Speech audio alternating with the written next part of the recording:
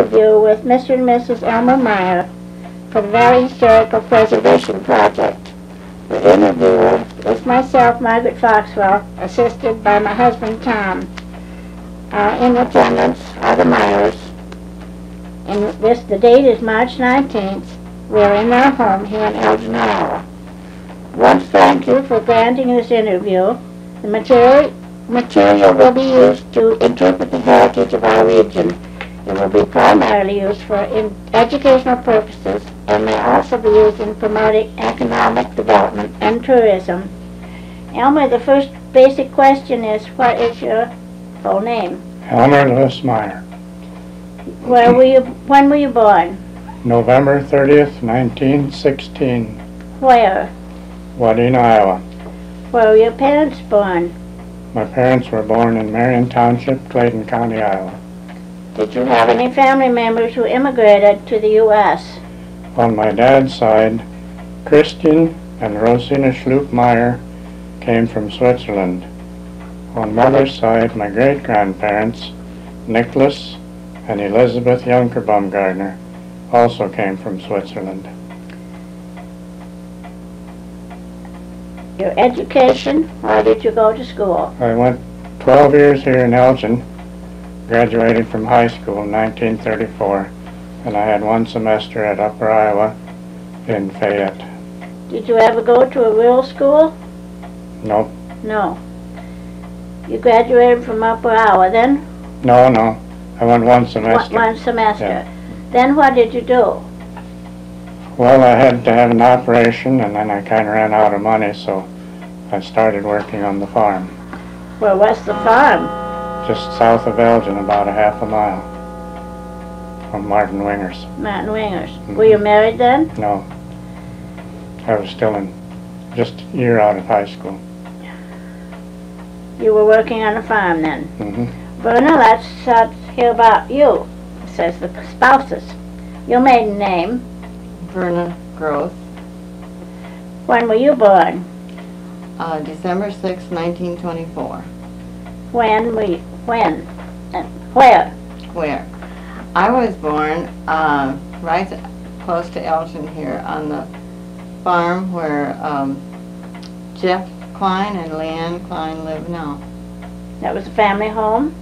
No, that, that belonged to uh, Joe B. Snyder.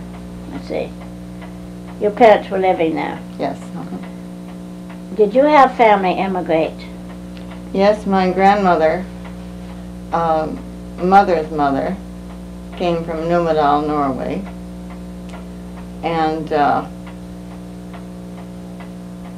see, my father's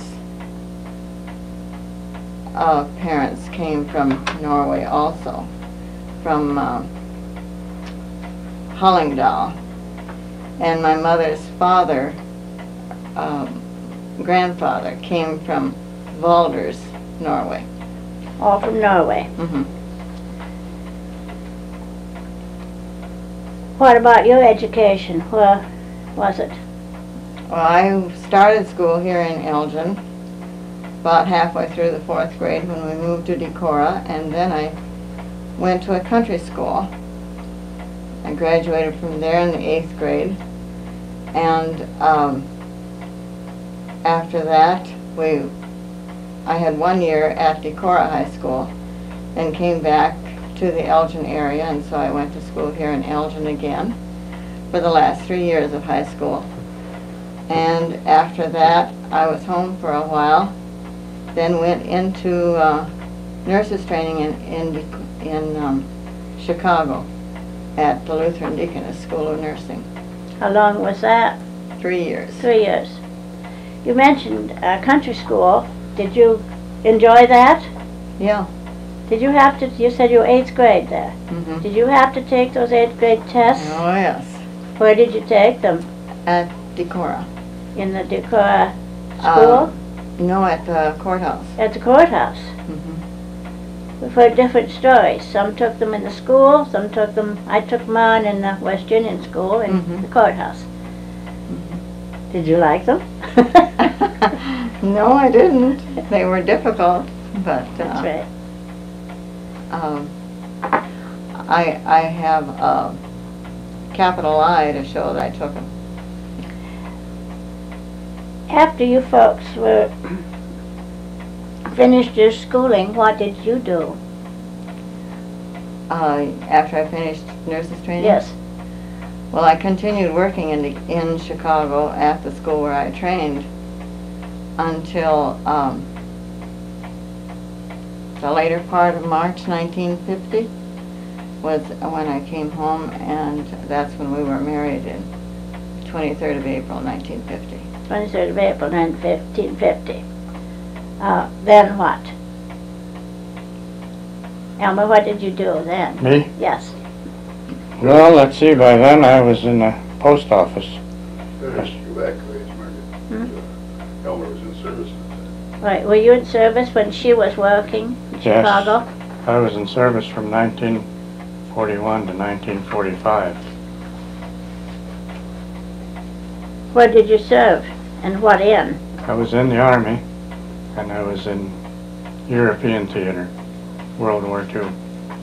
You serve overseas? Yes. European. mhm. Well, the most famous battle that he was in was the Battle of the Bulge. Oh, I've heard about this afterward because Elmer and I did not know each other at that time. where did you meet? Here at home. That's the story, too. Uh, At that time, I was working in the post office, and Hank was postmaster. And uh, he was going with Verna's sister. So he had a date with her, and he just said to me, do you want to go along tonight? We're going over to Garnavillo, to the restaurant. I didn't have anything else to do, so I said, okay. And Verna happened to be home from Chicago, and I just said to her, I've got a date tonight, do you want to go along? And she said, I guess so. So that's how we met. And how long was the courtship? Uh, Oh, dear, let's see. That must have been, uh, a year or so, I don't know. a year and a half, I, I think, because, uh, this was in the summertime.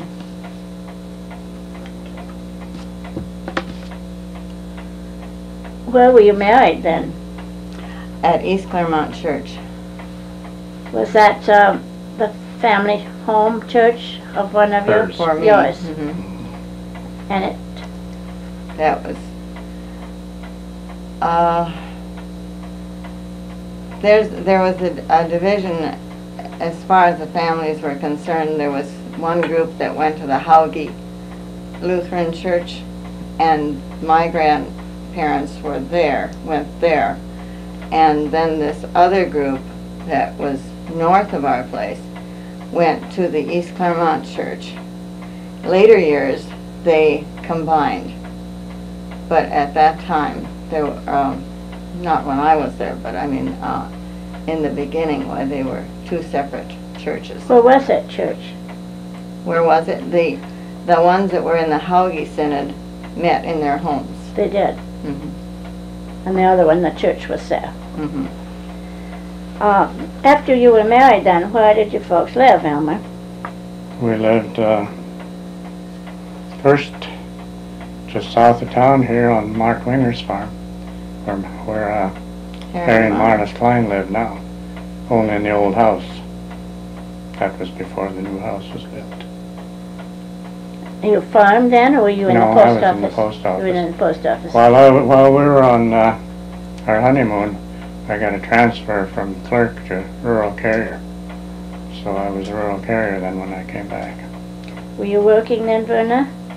No. No. I, At home? the work outside of the home that I did at that time was individuals that were terminal cases. And they wanted to stay in their home. And so I would, I did go and, and help take care of them. Mainly giving them, uh, the medication so that they could remain at home. She worked later though at At- West, West Union Hospital. And Postville Nursing Home and school nurse. Valley High Goodness. School. Um, Elmer, just what were your duties when you worked in the post office? As clerk or as Yes. rural carrier? Clerk. Well, as clerk was sorted mail, put it in the individual boxes, sold stamps, money orders, uh, insurance for packages, um, canceled the letter stamps, tied it out to send out, and uh, we sent out an awful lot of Capper's chicks. A lot of times we had to work on Sunday to get those out. And uh, the mail at that time came in either three or four times a day. It came by train part of the time in rural and star out also. Could you elaborate, elaborate a little on the Capper's Chick Hatchery shippings? The Capper's chicks were sent out in cardboard boxes with little round air holes in them. And the box was divided into four sections so the chicks wouldn't uh, pile up and smother them, each other. And uh,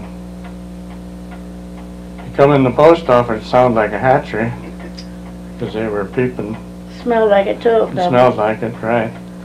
And there's a story about one farmer, he said, I don't want Capper's chicks, I want mine from Henry Field. So he sent to Henry Fields for his chicks, and when they came back, they, they were in the same box that they left the Elgin post office in.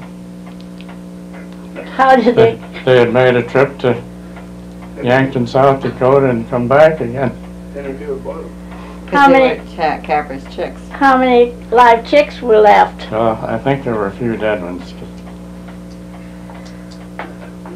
Did, uh, how long did they stay in those boxes when they was sh- shipped out? Well, um, They shipped all over the country. They weren't in the office very long, No, not over, oh, two or three hours at the most. And Paul Larson had a, a truck that he, uh, trucked them to Postville quite often, because there'd be more than the mail truck could handle. And he hauled them up there to the train, when they sent them out though, Mhm. they were They went all over the United States. wondered how long it would take them, I suppose two or three days, some of them. poor things. Uh, did you, did they ever send out hatching eggs? I don't think so. Don't think so. Not through the post office. Well, that was your clerking. Mhm. Can we hear some of your experiences as a rural carrier? Well, when I started, I had about 50, 52 miles. It was in 1950. Most of the roads were still dirt. I had a few gravel. I don't know if there was any paved road or not, but I bought a new Jeep, a 1950 Jeep, Willys Jeep. I had a 46 Plymouth that I had bought when I came home from the service. And uh, we went to work between six and seven in the morning. The mail came in a lot earlier than it does now. It seems like uh, progress has kind of gone backwards as far as mail coming in to town. We lost our trains. We sorted the mail. Each box, each farm, well, some in town too, had a pigeonhole. And we sorted all the mail and then strapped it out, starting with the last one first. Usually had six or seven bundles. We had an awful lot of packages, and every year we got, twice a year, we got Sears Roebuck, Montgomery Ward, and, and Spiegel's catalogs Penney's.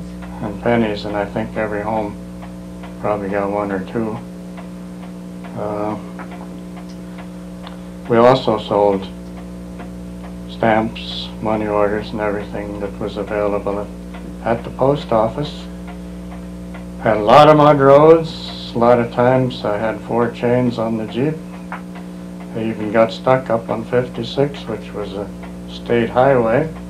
Had to have Bert Benson pull us out with a team of horses. And we carried a scoop shovel all the time in the wintertime. Uh, shovel, a lot of snow. A lot of times we'd detour, come in from a different road, or walk a little ways to serve somebody's box. But there were very few days that we didn't get part of the mail out. And uh, I still have the Jeep that I started with in 1950. It still runs. Right now it needs a little work on the carburetor, but it's still handy on the farm. I had 25 years of hauling mail and met a lot of nice people. Got a lot of nice Christmas presents at Christmas time. I don't know if They also depended on you sometimes to bring something from the grocery store. Well, that wasn't legal, but some people called in and said, would you bring such and such from the store? Then I had a few passengers, which wasn't uh, supposed to be either. We were at a meeting once and the inspector was talking and he was telling us not to pick up passengers and unless they're hurt or something like that. One fellow says, well, what if a good-looking blonde wants a ride? He said, tell her to sprain her ankle and get in. They overlooked a few things. Did you ever have trouble in the snow? Oh yes, I got stuck quite a few times, but I always got home. A lot of times I'd have to detour quite a ways, or shovel. I shoveled halfway up to Pete Ingen Hill one time, that's down by Highland. That's about, oh, I don't know, a quarter of a mile long, I guess. Finally ended up putting on the chains anyway. When uh, the bad snowstorms came, did you just, the mail didn't come in, so you didn't go out, Well, if it right? didn't come in, then we didn't go out. But if it came in, we went. Went as far as we could. Then I used to go through Gunder when, at the first part of my route, or at first, and uh, Harvey Anderson had a service station out there. So if I had a flat tire on the way, then I'd stop there and get my tires fixed and fill up on gas. And he always had a pot of coffee on. And I'd uh, usually eat my dinner in Gunder. A lot of times went to Benson's store and bought a sack of um, corn curls, potato chips or something like that. But most of the time I carried my dinner. Verna would pack me something. You ate on the way then? Right. I always stopped for about a half hour. Interesting. And all the time you were doing home health care as they wanted. Mhm. It was a home health care of today with, a a different bit. name, But I think it's quite a bit different. I think it must be. Medicare isn't paying the bill for one No. thing. No. No, the uh, American Cancer Society allowed one dollar uh, for a person to go and give some medication. Oh, did they have to be terminal cases? Yes. They did. Mhm. That was great, there was little help. Um, what about your school day memories? Verna, do you remember some that you would like to share and laugh with us over? Um, well, uh, Start with your The- childhood memories. Yeah, the first thing um, that comes to mind is that when Arnis and I were little, we spoke nothing but Norwegian. So it comes time, it came time to go to school. We didn't know any English. So my mother, who was a teacher, gave us a crash course in English. and the, um, but even with that, when we saw each other on the playground or anything, we would always run to each other and we would be talking Norwegian. No matter what the teachers did, we, eh, if we had a chance, we were talking Norwegian. Your sisters? Yes. And uh, And where Yeah. were you in school? here in Elgin, Okay. none of the teachers spoke Norwegian. And so, of course, that was, um, that was a, uh, part of it that they didn't like because they thought we were, they didn't know what we were saying, you know. And up by Decorah, we were along the highway, uh, number nine. so it was much easier getting to school. And we walked. We had a mile to school. And uh, there we would play Andy I Over, um, Blind Man's Bluff, and uh, all kinds of that type of games, you know. Once in a while, um, in the spring especially, the there was a couple of boys that that drove or drove rode their horses, and so then we were all taking turns riding horses and during the recess. Um, There was no insurance liability of concern then, was there? no, no. That was, of course, my dad didn't know it. he didn't know that we were riding horses. But we never, we never uh, got hurt either. So, and we had, I had a, a, a friend, little boy, that was, he was just a very good singer. He was, um, uh, he was unable to walk very well, and he couldn't stand for any length of time. He was, had been injured as a baby, but he could sing and we just every every uh, program we ever had, he was singing, and uh, that's one thing that uh, I think the young people miss a lot now is that they don't have the programs that we used to have.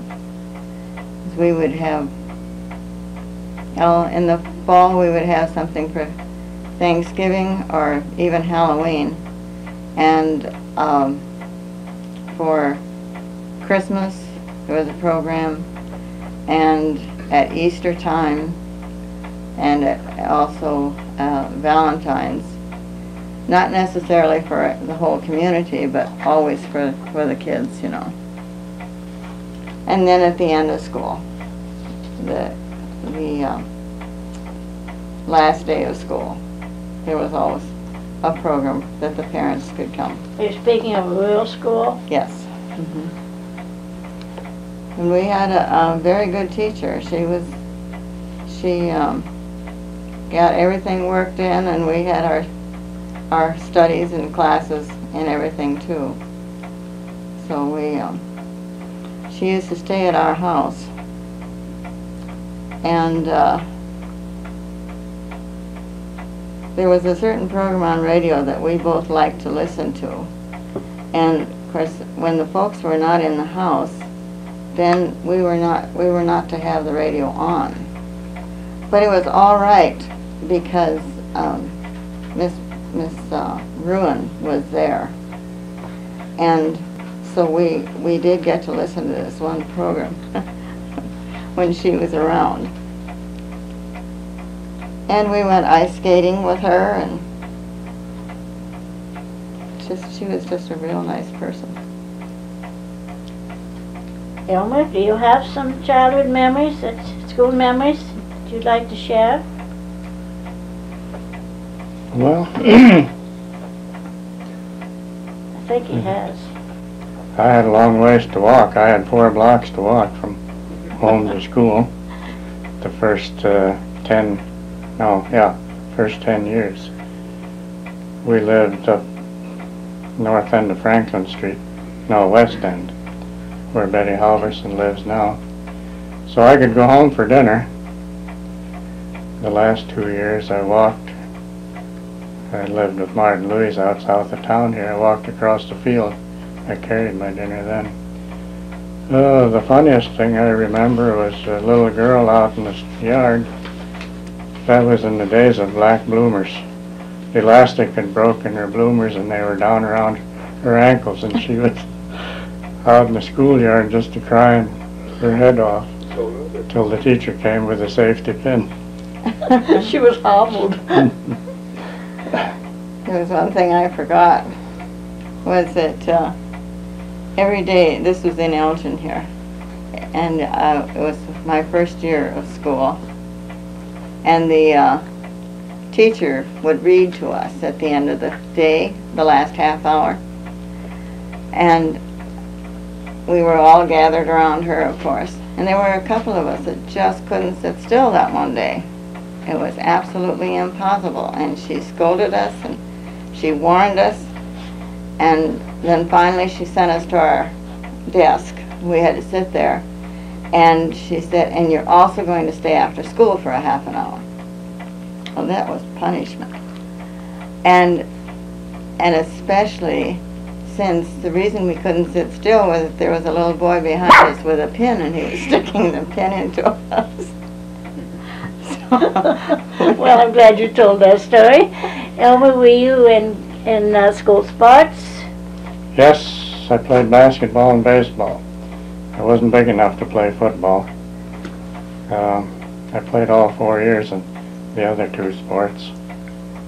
He's a quickie boy in basketball. Where did you play uh, um, baseball I was- games? Where did we play our baseball Yes. games? Wasn't much schoolyard. Um, let's see, it's where Roger Fobb's house is about now. It was in Shore's pasture. And, uh, Rose had to shut the gate so the cattle wouldn't get out. Where I used to clean up the droppings of the Yeah. cattle before the game. Um, I played third base most of the time. And there used to be an amphitheater there for the people to sit in. Oh. Did you have uniforms? Mm-hmm. Yeah, we were right up there. Town stuff. Yep. Did you remember any teachers? Sure, I remember, I think probably all my teachers. Let's hear them. Okay, the first one I had was Miss Dugan, and then Miss Neno, the second grade. And No, no. both of our sons had her as a kindergarten teacher, same teacher. Mrs. Cowell. And that's, yeah, she was Mrs. Keipel when they had her. And I had Marie Mosby and um, Verna Yunker, Hazel Frieden, seventh and eighth grade. In high school, I had L.B. Carter, who was the superintendent and the manual training teacher. Charles Whitney, algebra, geometry, and sports. One coach had all three sports. We didn't have a coach for each separate sport. And Rudy Jorgensen for English, Miss Crow for history, Miss uh, Hoyt, Miss Hoyt for shorthand, typing, and bookkeeping. Gil Molson was, what, physical training? Yeah. Had, uh, had, uh, Shorey, Georgie May Shorey too when I was in the lower grades, What'd she teach? physical training. Oh. Understand that. What about Miss Crow? I hear all kinds of stories She about was, her. she was the most respected teacher in the state, I, I think. What she said went. If you didn't want to learn, you learned anyway, right? Right, I still know the presidents, up until the present ones, present ones, and I can name all the states too, just because she drilled things like that into us. Penny. I guess you wanted to learn, eh? Was the school quite modern by today's standards? You had Well- good equipment? The, I would say it was very modern. I'm sorry that it's not here anymore. Not for school, but for, for history. Um, Sure, do you want me to de- describe the school building? If you'd like. Okay, it was a three-story brick building. And in the back, there was an addition built on, I think it was finished in 1924. That included the gymnasium on the basement floor, and above was the assembly hall and two classrooms. Then the main part, which was built much earlier, that was also three, that was a three-story building. In the basement was the boiler room, and the manual training room. The girls' restroom and locker room, and on the other side, the boys' restroom and locker room. And then in the back of the gymnasium was uh, a storage room and also the boys, that was the boys' locker room. And the first floor, right inside the door to the left were two classes, to the right were two classes, and back the end of the hall were two classes. Upstairs, to the left of the stairway was the seventh and eighth grade. To the right was the economics room and back a ways was the superintendent's office. And straight ahead from the stairway was Chuck Whitney's, his al- algebra and geometry. And then around his room and, and down the hall was uh, assembly room and the other two classrooms. It's a good memory. And uh, when we were dismissed at five minutes to four, Miss Crow had a little bell and it was ding, turn, ding, rise, ding, march. And you marched. And we marched, orderly. Can you add anything to that, Verna? I could add a little change to it. When I was in school, that uh, one room uh, that you would say the um, math teacher was in, that was a science room when I was there. And when my boys were there, it was the fifth grade room. So it, it changed through the years. And then later, they moved on country schools Yes. Mm -hmm. for music.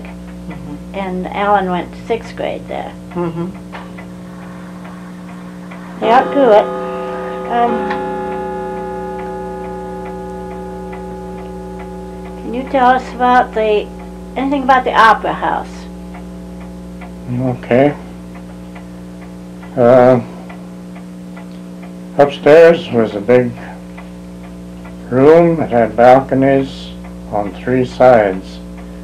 And to the front, as you entered, you came in up a stairway and there were two doors there.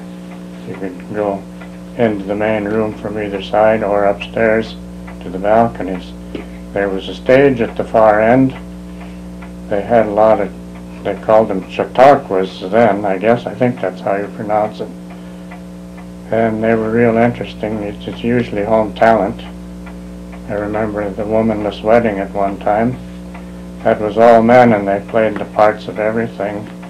And uh, Al Shorey was the little baby. He was a bald-headed old man, but he still got in the baby carriage and had a baby bottle. Uh, they all usually had dances on Saturday night, and uh, when they did the schottisch, the floor kind of went up and down, but it never went through. Then we had uh, silent pictures. The screen was up front. Florence Klingman played the piano through the whole film because there was no sound. We had to read what everybody said. And uh, later on we got uh, sound pictures, and the first one I ever saw was the Marx Brothers. Down in the basement was what they called the pool hall. Had pool tables and card tables and a lunch counter, and, and uh, when it was allowed, a beer counter, I guess. Popcorn, peanuts, salted peanuts, and lots of smoke. What was Saturday night like in town?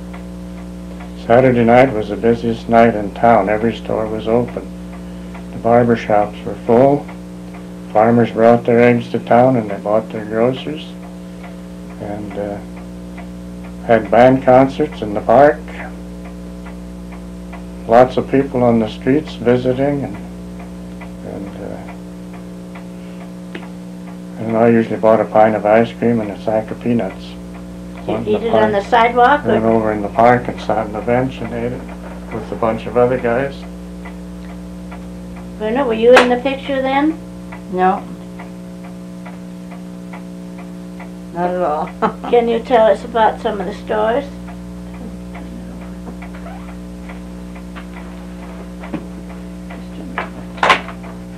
Can you tell us about some of the stores? I don't really remember You don't? too much about Elgin. Um, the Saturday nights I remember are the ones we had at Decorah, which Okay. isn't for this territory. And, uh, when we came back, um, the Saturday nights had changed. Uh, they weren't, they weren't as busy on No. Saturday night as they had been before, and, uh, and the young folk had their cars, and when we had a date, we would go to Decorah to the movies, or, um, as they do now, they go to Prairie du Chien. We didn't do that. But that's, um, that was one of the changes. Elmer, can you describe Tommy's store? That's where our historical society is now. Oh, let's see. Was it always a, a grocery store? It was a general store, I would call store. it. That's Uh, where, I think, what? that's where your Weatherby is. Yeah, Peter Weatherbird. Yeah. It seems like on the right-hand side, they had the cloth, thread. On the left-hand side were the groceries, and in the back, they had shoes and boots. And, uh, Thomas sold Peter Weatherbird shoes. And uh, I don't know if you've ever heard of Robert Wadlow, but he was the tallest man in the world, over eight feet tall. And Max had him come to Elgin one time through the shoe company. And I was just a little squirt at that time. Of course, I had to have my nose up to the front. When Robert got out of the car, it was a, uh, about a 30, 31 Chevy, I think. It was a two-door. They had taken the front jumper seat out, and he got in there and sat in the back seat, so his legs came clear up to the front. When he got out of the car, I was right close. He pretty near stepped on me. I never heard why he came. We have pictures of him down to the historical building. He was advertising for Peter Weatherbird shoes. Interesting. Was that always a, s- a dry goods store in that As far as building? I know, yeah. What uh, do you know about some of the other stores then? Did they have cafes?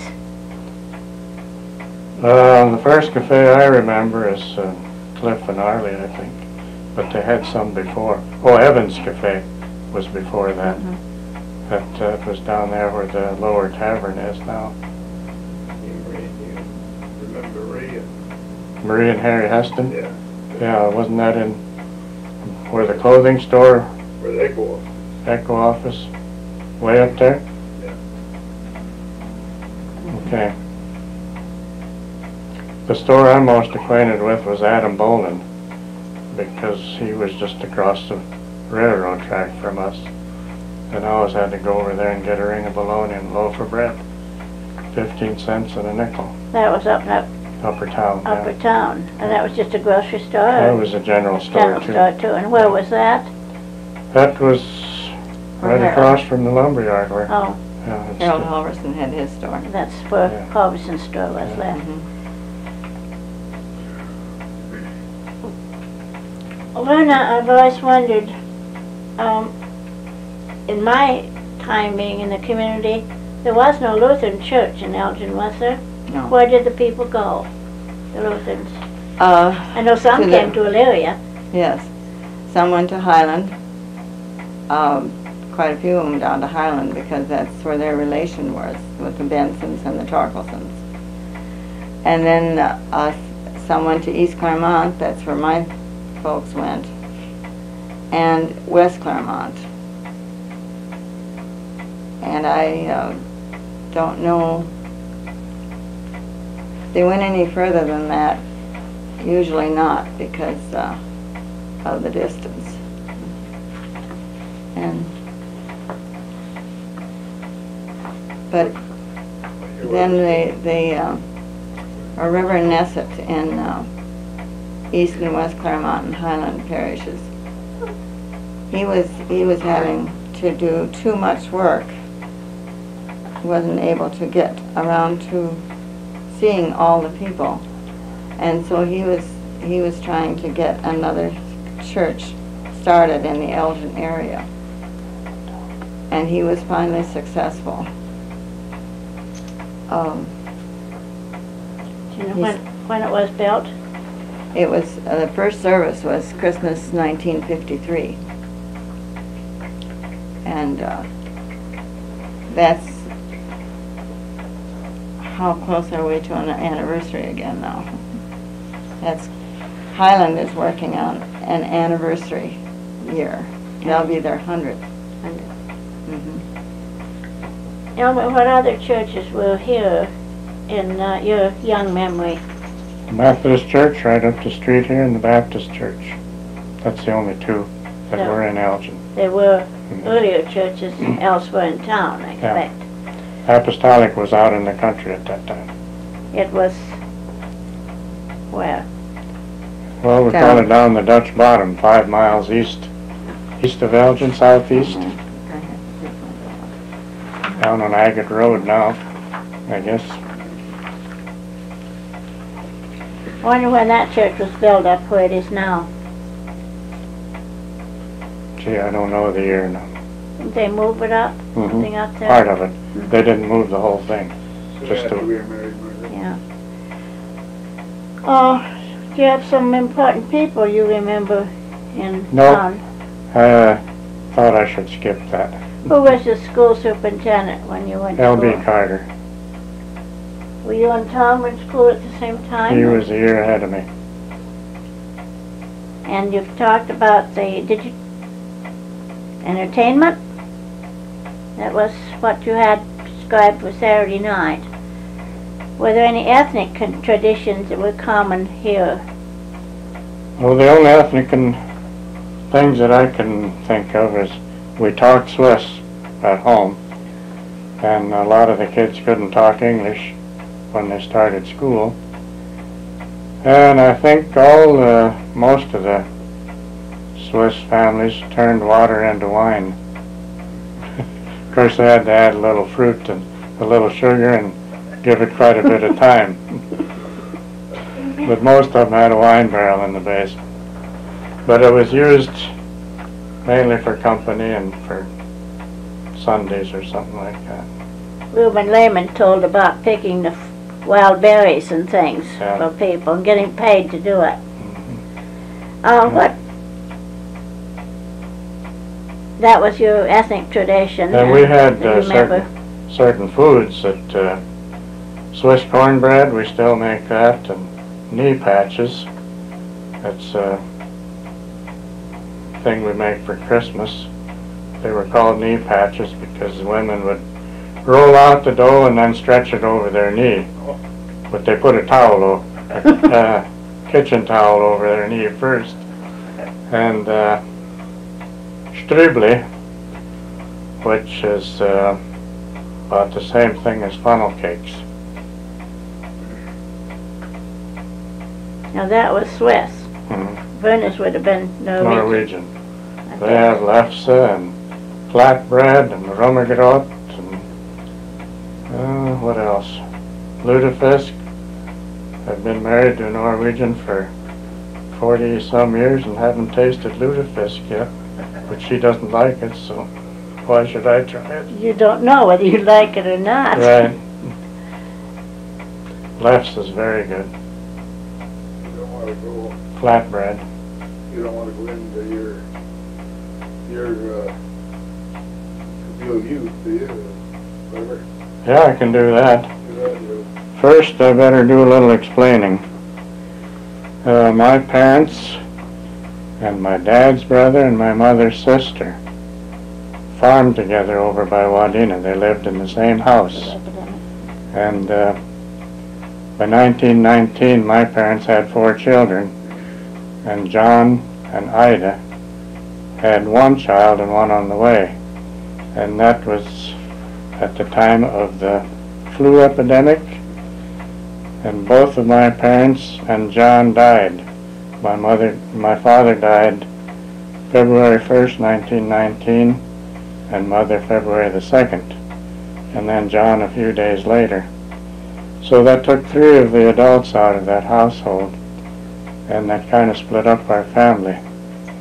I, the remaining living adult, took Hilda and Melbert from my family and her son Harold and moved back to her parents or my grandparents, Adolf and Marianne Baumgartner.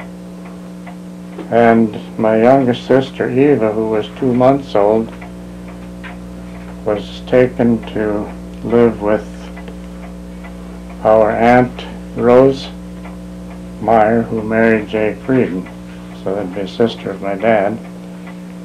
And she lived with them. And then I went into the family of Celia Meyer, who was also a Baumgartner. She was my sister's, my mother's sister, and she was married to a Meyer, but it was a different Meyer. So people kind of get us mixed up. And uh, she was widowed at the age of 24. She had three children, but she found room For you. For one. It was a bad time.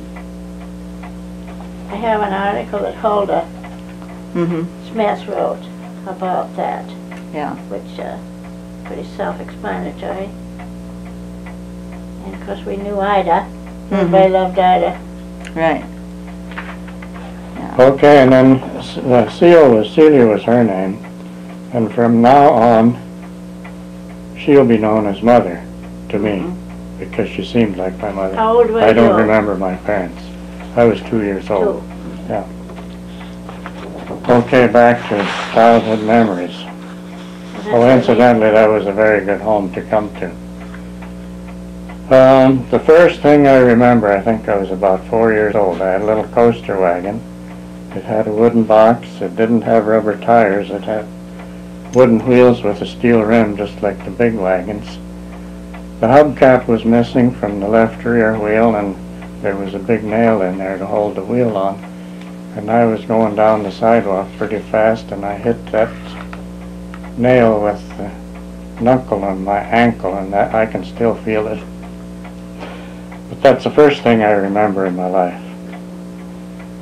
Um, we usually went barefoot in the summer. We lived near the railroad tracks. We got a lot of tramps, and they usually got a handout. Sometimes they'd have to split a little wood before they'd get something to eat. And we also I also remember what they called the pie freight. What's the pie freight? When she heard, when mother heard the whistle at eleven o'clock, she said, it's time to put the pie in the oven. So that got to be the pie freight. I remember riding on the train to Brainard, and I had an uncle that lived uh, west of Brainard. Ride to Brainard and ride, and then walk up to his farm. And Charlie Kraft run the depot and the store in Brainard, and we could get a sack of chocolate candy about that high and that big around for a nickel. Enough to make us sick several times. I remember riding out to western Iowa on the train one time, out to Rock Valley. Had an aunt that lived out there. The store I told you about was Adam Bolin, and usually went over there to get a ring of bologna and a loaf of bread. Got my overalls over there. We had a milkman in town. Didn't get the milk at the store. Ern Holzer was our milkman. The milk came in pint and quart bottles, glass bottles. And Larry Grimm, he was a classmate of Tom, your husband. He was the running boy. He delivered the the bottles from the truck to the porches. That was whole milk. It was not pasteurized and it wasn't uh, separated. And the next morning we could skim, skim quite a bit of cream off the top, and that's what Mother used for cooking. And uh, I like to watch the trains. At that time we had the canning factory and the sugar would come in, they'd get a carload of sugar during factory time. And then they'd have to put the train on the side rail that went right down in front of the factory. And they used big or long poles with a lever on them to move the cars. Somebody on top to put on the brakes. There was a little incline there. And then when they had it unloaded, if they didn't need the empty car, it stayed there. And they reloaded it with cases of corn to be shipped out. And a lot of the servicemen found Elgin corn in many of the foreign countries during World War II. I also remember watching the train. Uh, new cars came in and on the train. Sometimes I had quite a time getting them out. Livestock went out from the stockyards to Chicago. Uh, there were several trains every day, even passenger trains. The later years, it was just the dinky. That was just the one, one passenger train. There was no, not, we had cars then and not many people went by train anymore. First clothing, I usually wore knee pants. I suppose now they'd be called shorts. I know we called them knee pants. And button shoes. Um, I don't know if boys would wear button shoes now. Maybe they would. They wear earrings. The first long pants I got, I bought, we got from Fred R. Berg. I got a suit down there. He ran the clothing store. We had a garden, had two gardens in town. And uh, had a little garden that I usually spaded.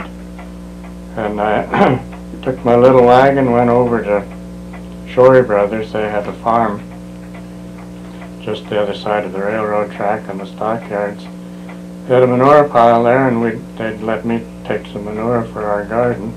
I'd haul it on my coaster wagon. I suppose uh, the hired man there was glad to get rid of a big load of manure once in a while, so he wouldn't have to haul it. Fill out a wagon full. And I raised, we raised corn and peas, not corn, beans and peas and carrots mostly and tomatoes, cucumbers, cabbage. And we, uh, mother canned a lot of stuff, so we always had quite a bit to eat. And I remember Billy Whiskers plowing the bigger garden. Who was Billy Whiskers? Billy Whiskers, I don't know who Billy Whiskers was, but that's what we called him. And I think he came from up around Brainard. He had a team of horses and a wagon and a, and a plow, and he'd come and plow gardens. And he used pretty foul language when managing his horses, and mother got after him about it. And when he came back the next day to finish, he called his called him sweetheart and honey and all that. They pulled, pulled the plow just as well as they did before. Uh, let's see, I had notes here. We also had an apple tree in the front yard, two Whitneys. Very good apples. I remember climbing up there and we'd just eat apples, But she made apple pickles. apple pickles, Right. the Whitneys. Mhm. And beet pickles. I was known as Beets Please in the family. She was a good seamstress and a good cook, and she worked in the canning factory. During bean season, she snipped beans, and and in corn season, she uh, run a husker. We used I used to play with a hoop and wheel. What's a hoop and wheel? I don't know why it was called a hoop and wheel because uh, the stick we used was a lath, about 30 inches long with a cross piece at the bottom, and the wheel was the, the hoop off of the hub of a wagon it was about 8 inches, just a metal rim, and we pushed that around for hours.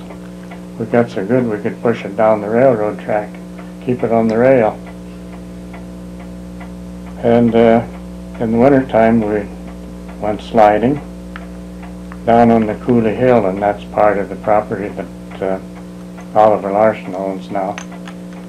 And we'd also hook a bob what do you do when you hook a bob? Some farmer would come to town with a bobsled, maybe with a load of hogs. Or come after some feed, and we'd run behind him and take the loose end of the rope of our sled and run it through where the runner was fastened to the bobsled and hang on to that and get on our sled and ride from one end of town to the other. And when we wanted to quit, all we had to do is let go of the loose end of the rope. We had a nice house in town. We always had electric lights, as far as I know, here in town. We did have a, a well and a pump in the backyard till we got city water. But we always had a cistern and a pressure pump in the basement, so we had running water and, and a bath in the, in the house. But we also had an outdoor toilet. I had chickens in a brooder house. I got had eggs most of the time. We red Rhode Island Reds, and uh, I hauled a lot of their feed from the canning factory. I could get uh, the stuff that came out of the cutter room was pretty near solid corn. It was the cleanings, and I'd haul that home in my little wagon and that would be the chicken feed during the canning season. They also got uh, scraps from the house, and I suppose Halden Guernsey would bring corn in from the farm, corn the notes. We got, our first car was a Model T Ford, about a 1924. And I remember Getting to go to Oelwein was a big treat. We'd go down there to go shopping, and we'd go to a restaurant and have a hot beef and gravy sandwich, and also go to the bakery and get some some baked goods. Take the train. No, the No. Model T Ford. Louis drove. It was a gravel road all the way. In the summers, I stayed out on the farm with Hulda and Guernsey. And there I learned to milk cows by hand. I drove on the hay loader when I was about eight years old. And a lot of that ground was flooded by the river and brought in a lot of weed seeds. One year we got a lot of morning glories and that they would wrap around the corn and smother the corn. And that was before herbicides, so we had to pull that out of the cornfield, uh, unwrap it from the corn. We spent many days in the hot sun doing that. Not just me alone, but the whole family. I learned to cultivate there. My first cultivating job was for an old man that was, that was about two or three generations apart there. He was too old to run both the drive the horses and run the cultivator, and I was too young to run the cultivator, so Guernsey put a seat on the tongue, I sat on there and drove, and Frank handled the, handled the handles on the cultivator.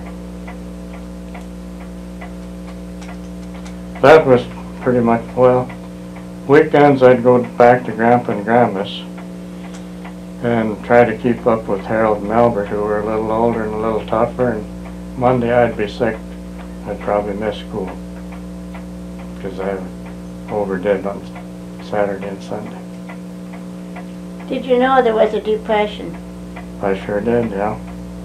It didn't bother us too much. Uh, most of our food was homegrown. Homegrown and home canned, home butchered chickens, eggs. We had bacon, eggs, and fried potatoes nearly every morning. I suppose that accounts for the high cholesterol. Uh, Clothes was made out of feed sacks that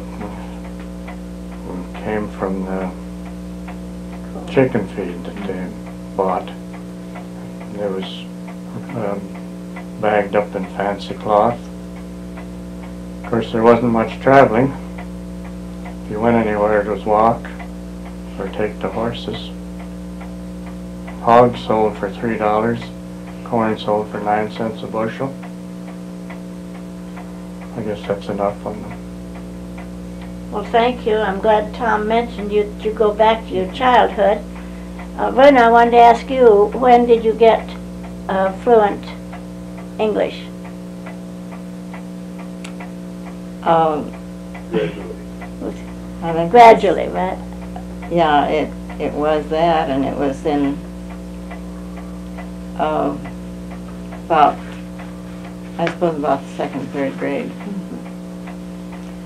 Elmer mentioned some um, Swiss cookings and customs. Do you have any in Norwegian? Norwegian. They're well known for their specialties. They have, um, and of course, being, uh, or coming from a cold country like that, they were not used to vegetables and that type of thing. They had, they did have, um, like my dad liked peas, but that was about the only vegetable he'd eat. And, uh, consequently, I don't care too much for vegetables either. And, but we had pies and cake and cookies and, and everything like that every single day. And, um, at, in the holiday time, of course, then we would have the lefse and the flatbread. And, um,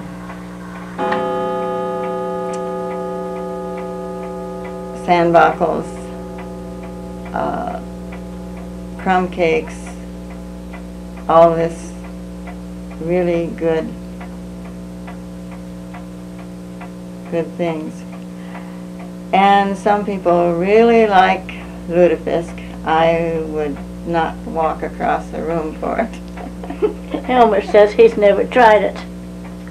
No, I never liked it.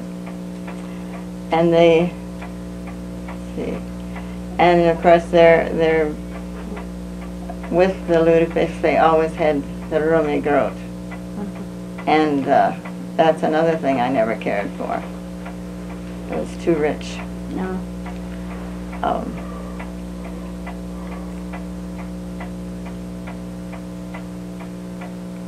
I don't Um, know what, uh, Elmer mentioned the factory. Did you ever work in the fac corn factory? No. My mother did, um, I think one, one year that she helped out. She, I don't know why she tried it because she had been very, very sick. And over a period of many years. Um, and she was, uh, she was in Rochester first in the hospital and then in a boarding house for six months. She never came home in those six months' Oh. time. And so we would get to go to see her once in a while. And that was always a big deal. Because we were young enough to, to enjoy seeing those geese up there. And then we would always have a chance to choose something to take home as a remembrance. And the last thing that I remember that artist and I chose was a um, necklace or a, it was a chain with a little, um, like a stone and a rose flower was carved out of that. Mine was blue and artist's was pink. So I always knew which one was ours. How much time you got left? Oh, you got a lot of time yet. Um, C- Can I tell you the difference in farming? yes, but I want to know what the dinky is. My dad ran into it one time in West Union, but I never did know why that train was called the dinky. I suppose because it was small And we had only one car. as far as train was concerned. concerned. It was uh, just one car. It had the engine and the passenger compartment all in one. It was about the size of one railroad car, passenger car. It was just mostly Mhm. passenger It had, then. yeah, just strictly passenger and maybe a little mail. I see. I wrote on that. Did you? Where did you? Decorah. To Decorah. Three Once. quarters of an hour yet. A lot of passengers rode on the train, didn't Uh-huh. they? Uh, it was a, that's why Oelwein was a shopping center at Yeah. that time. Mhm. because it was easy to get there and back in one day. And a lot of the stuff came in on the train. We had a dray that delivered the stuff to the different stores. In fact, the roof on our farm, on the house on our farm, came in on the train. It came through Les Lane and Hardware Store. It's uh, metal shingles, and we still have a box up in the attic with a shingle or two. Well, And that was built when? 19 what? 1914. 1914, and it's still the same roof. It's been painted several times. Speaking of mail carrier, my father ordered a wagon tongue one time from Montgomery Ward and it came in, it came in a, on a rural route, Mhm. stuck out of the car. mailman delivered? Yes, Yeah. some more. I'll tell you a little about the difference, or how farming was when I first started working on the farm. There was no electricity. We had gas engines and a pump, pump jack or a windmill to pump the water, and it was pumped into a reservoir usually. And then from the reservoir it went to the stock tank. The stock tank had a valve and a float that would shut it off when it was full. There were no tractors, we had horsepower only. The plow I started with was called a sulky plow. That plowed one 16-inch furrow. It had a seat on it, so I didn't have to walk, and took three horses to pull it. We had a disc, which was a single disc. It stopped. Mm -hmm. This one. That's, this, this. It doesn't matter. Oh, that still goes? Okay. can just go on. I'll keep on. The disc was about seven feet wide and took three or four horses to pull that. We had a three-section drag and that was three horses. There was a seeder and that was pulled by two horses. That was for seeding oats and barley, things like that. Then there was a two-row corn planter pulled by two horses. And you also had the wire check so you could check called check the corn so you could cultivate in both directions. We had a walk, walking cultivator pulled by two horses. You walked behind that as you cultivated the corn. Then we had a riding cultivator the second time. Second, third, and fourth time through we got to use the rider. There was a grain binder, some were six foot, some were seven foot, some were eight foot. Cut the grain and tied it into bundles and then we had to shock, put the bundles into shocks. Let them set for a week or two before thrashing started. And thrashing, none of the farmers, not uh, individual farmers, had a thrashing machine. It was usually a, a group of farmers or Torkelson Brothers owned a thrashing machine. And the first thrashing I remember was with their thrashing machine and a steam engine. And they used wood, mostly old fence posts, to heat the water on the steam engine to run the thrashing machine. That was always a neighborhood or several farmers together doing thrashing, probably seven or eight farmers in a group. Then there was a grain binder, that or corn binder, one row, and that uh, cut the corn and tied it in bundles. And uh, if you had a silo, then you hauled it in right after it was cut and run it through a silo cutter and into the silo. And the first silo I remember filling was uh, powered, silo cutter was powered by a farm horse tractor that Albert Biedekofer, Albert Schupak owned. If you cut corn for shredding, then we had to shock it and tie the shocks. And that was left until in the fall. And that, that again was like thrashing. You had a group of farmers together. Somebody owned a corn shredder and something to power it and farmers got together and hauled the bundles in and run them through the shredder and quite a few people lost their fingers in the corn shredder like they did in the first corn pickers. We didn't have big tractors, we had uh, wagons with hay racks and uh, wood rack. The wood rack was used for hauling in the wood to saw up later for firewood, or it was used for hauling the bundles to the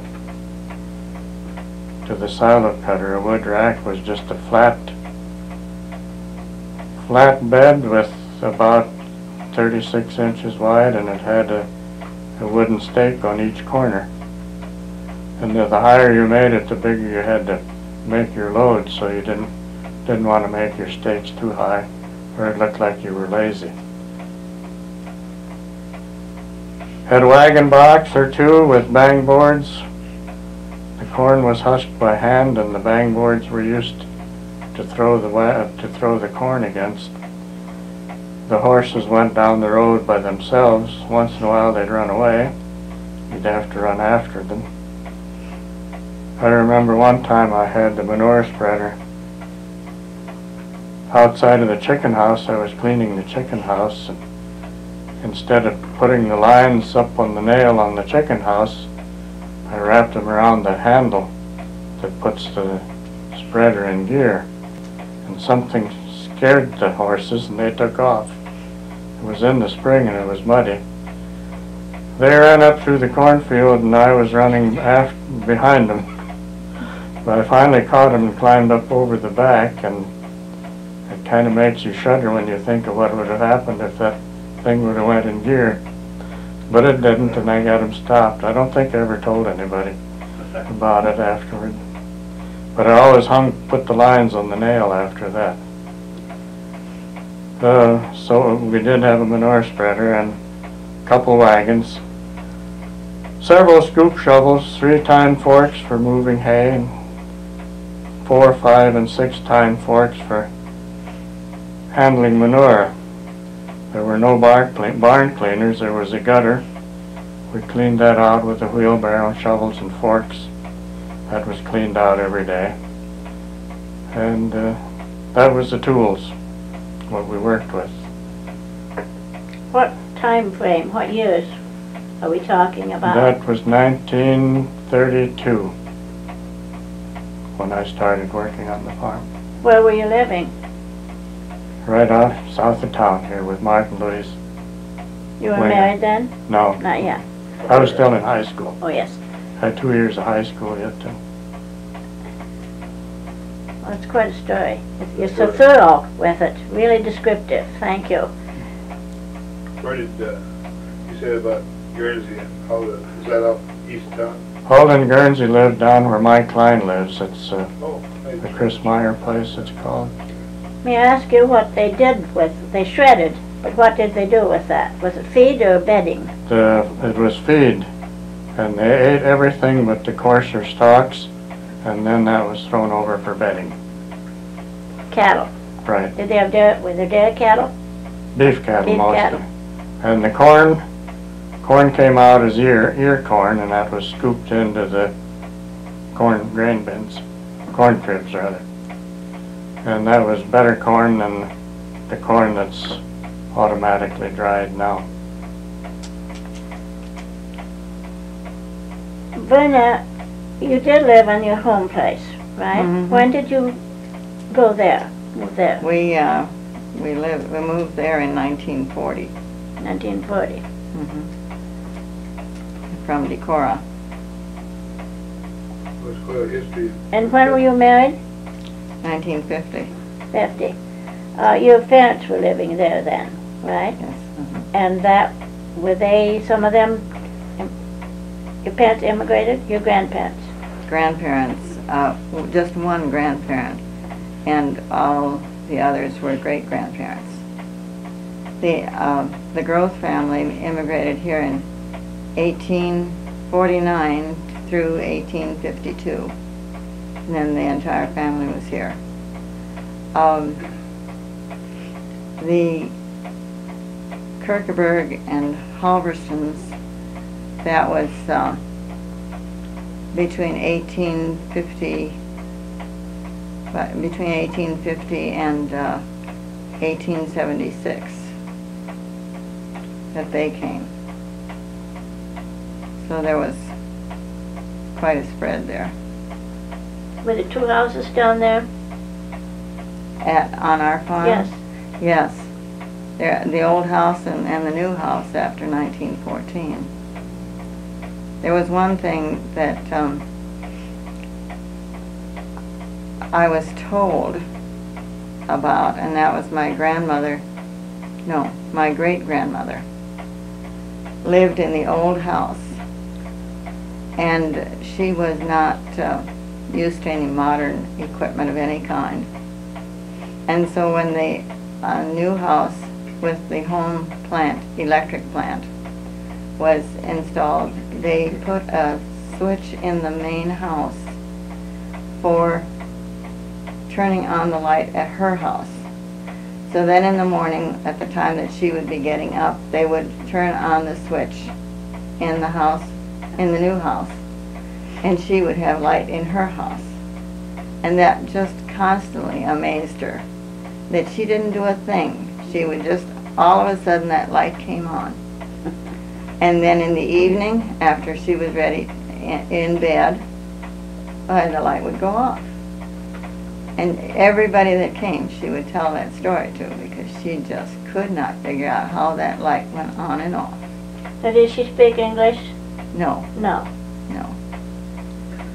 My grandmother didn't either. Did you learn the language then? Yes, that's when we, um, well, I grew up You grew up with it? with Norwegian speaking, yeah. My grandmother wouldn't let us, she wouldn't answer us if we spoke English. So therefore, we, that's why we didn't know how to speak uh, English when we were supposed to be going to school. You were living there. Did you do any farming there, Elmer? Not then, later years we did, yeah. Um, you had children, Two boys. two boys. Their names? The older was David, and the younger one is James. David, um, David died when he was 24. He had cancer. And uh, James is lives outside of town here, and he's our he he does everything for us that we need to have help with, and he's the one that's taking care of the farm now. We don't. We we thought we could live on the farm. They thought otherwise, and I guess they were right. We didn't uh, realize how sick we were, and I had no idea that I was sick, none at all. And I thought I could easily take care of Elmer. And uh, went out after he had had his surgery. But the kids um, got this place lined up for us. It was the only house available in town that particular time. And uh, they they literally picked us up and moved us because they uh, they brought all the furniture and, and all the dishes and everything like that in, put everything in place. And when everything was ready here in the house, then they came out and they said, now it's your turn. And so we had to put our coats on and come. That night, a storm was, was uh, forecast. It really didn't get as bad as what we were expecting, but nevertheless, it would have been impossible for me to take care of Elmer. And uh, so, and it would have been questionable whether James could have gotten out there. What time, what year was that? Um, 1994? Right. It was a good move. Yes. You look so good now. Took two years to convince me, though. Oh, we know the story. Our kids moved us too. Are you convinced yet? It Yeah, was, yeah. it was an Easter Sunday Mm-hmm. and I, we were practically moved in. We'd been working in the house and they wanted to move us, and I said, but leave my bed alone out, bedroom alone out there. I don't want my clothes one place and me another. Well, before the day was over, everything was moved, including the clothes. So we Mhm. spent that Easter Sunday in town. Oh, that's what they did for us, and, uh, it was, uh, James and Cheryl and David and Jennifer and Jamie that did all the work, wasn't it? It wasn't long after that till she was about ready for the wheelchair. And then we, James said, you better get a second opinion on your back problems, so we went to La Crosse and she saw a neurologist and when she walked in, into his office, he said, I think you've got Parkinson's and, and the next time up, he said, that's right, and he put her in medication.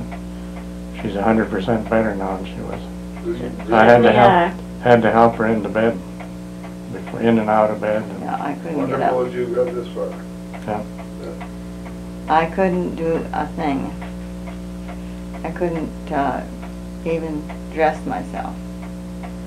And shoes was a challenge that I couldn't meet at all.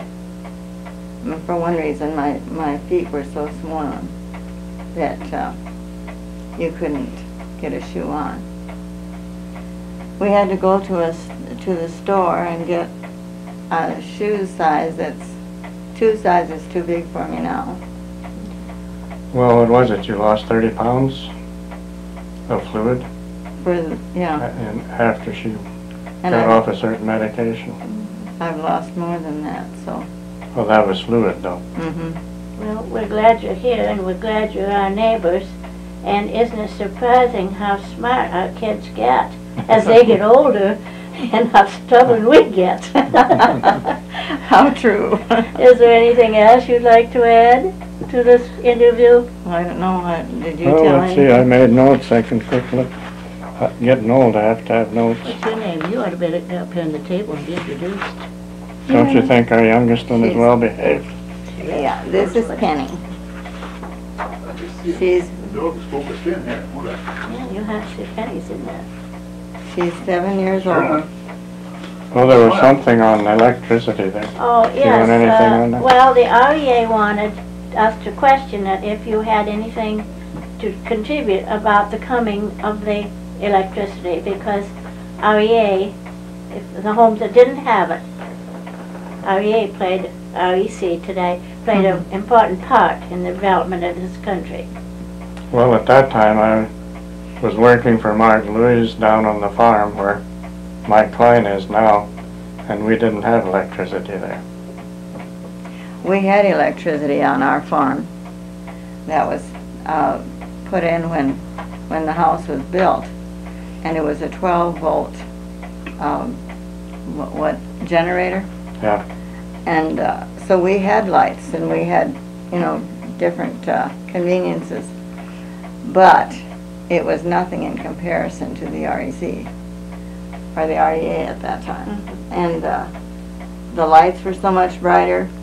We could see everything in the room, every, even everything in- in the corners, which was not possible before. No, And, uh, and of course, we could have, we could have an electric iron. That, I think, was the thing that we enjoyed the most. Because we didn't have to have that wood stove running to heat the flat irons for ironing clothes. And, um, we, we also then could get hydrants in in different places, so we didn't have to carry the water. And we had dairy cattle. And in the wintertime, if it was a real cold day, my dad never let those cows out of the barn. And so we would have to carry the water to the 31 cows. and that, and so that was really nice. And we had a, they had drinking cups for the cattle, and it was,